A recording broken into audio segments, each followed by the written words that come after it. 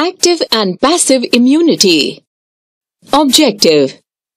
To learn the two forms of natural immunity, active and passive.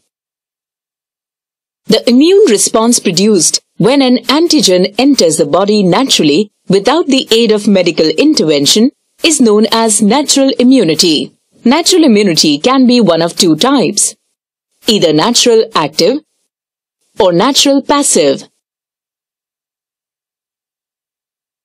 When pathogens such as bacteria, viruses or toxins enter the body and cause an infection,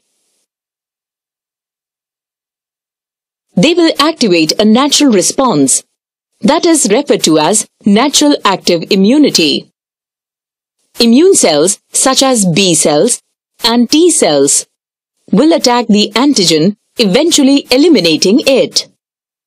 Natural passive immunity is the tie passed in the form of antibodies from a mother to her fetus across the placenta or to her infant through her milk. Passive immunity will only be effective for a short period of time.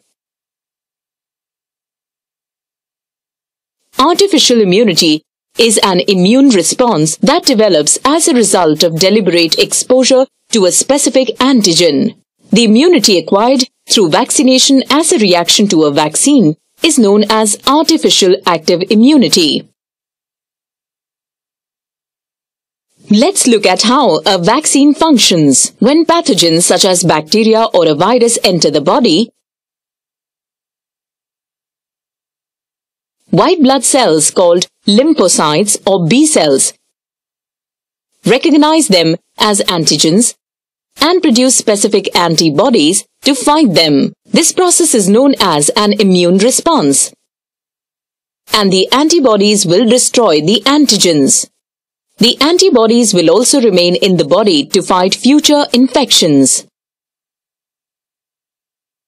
A vaccine is designed to mimic the pathogen or antigen. When vaccinated, the immune system responds by producing antibodies for that particular antigen. This is a primary immune response. Along with antibodies, memory cells are also produced and are stored in bone marrow.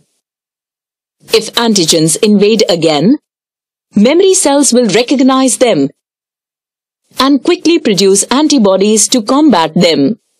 This is a secondary immune response. Vaccines are antigens. But sometimes, antibodies are administered directly to fight infections or prevent diseases such as malaria and rabies. The administration of antibodies is referred to as passive artificial immunity. And, like passive immunity, it only lasts for a short time. Summary An immune response is produced when an antigen enters the body. Active immunity is a response to the antigens. Passive immunity occurs when antibodies are administered to an individual.